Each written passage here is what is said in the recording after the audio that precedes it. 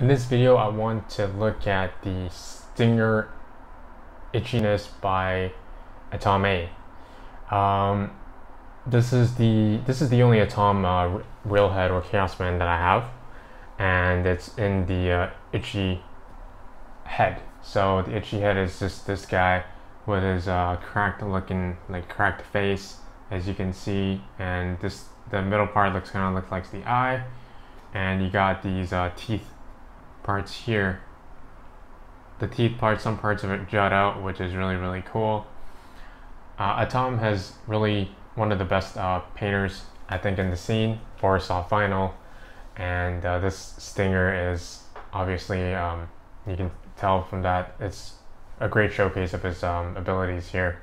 Uh, what I really like about this guy is that it reminds me of Halloween, which is my favorite holiday and uh, it looks like a scorpion. I think that's what it is. I mean, stinger, and you see the three dots on the top of his head. Ooh, the three red dots. It reminds me of a scorpion as well. So uh, it's quite nice.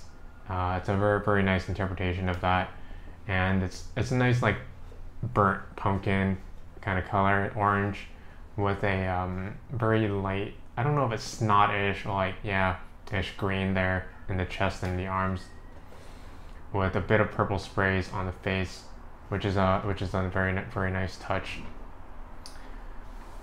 Um, that that's it. I mean, there's not much to say about this toy other than the fact that um, it's by Tom. It's uh, itchy.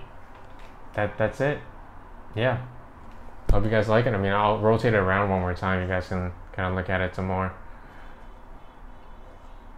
And definitely, uh, if you guys ever get a chance to pick up a, like Atom's works, or uh, join the lotteries, you got to follow him on Instagram and like sign up for his lotteries. It's very hard to win, and uh, I think it usually takes a few years before you even win one. But you know, go for it.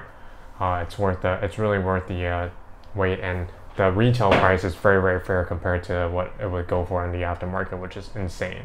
So definitely would recommend um, kind of trying to get it at retail if you can. Thanks.